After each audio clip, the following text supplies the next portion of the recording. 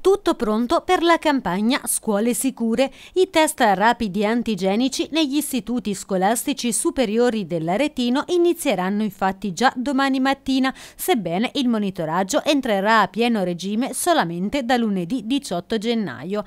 Venerdì sarà così il turno del liceo classico Petrarca di Via Cavour, la scuola scelta per la presentazione del progetto. Saranno poi nove in tutto gli istituti interessati dal progetto nel territorio provinciale individuati dall'Agenzia regionale di sanità. Non si tratterà di uno screening a tappeto, bensì ogni settimana saranno effettuati test su circa 950 studenti in tutta l'area vasta. In tutti gli istituti prescelti, infatti, saranno coinvolti 5 alunni per ogni classe della sezione individuata per il monitoraggio, quindi 25 studenti per ogni indirizzo di studio. L'operazione sarà poi ripetuta nelle settimane successive ogni volta su altri 5 5 studenti delle stesse classi, garantendo così una costante verifica della situazione. In caso di sospetta positività, cioè con esito positivo del test rapido, verrà effettuato il tampone di verifica. Nel caso di contagio verificato, si attiverà subito l'attività di tracciamento per il resto della classe e per gli insegnanti.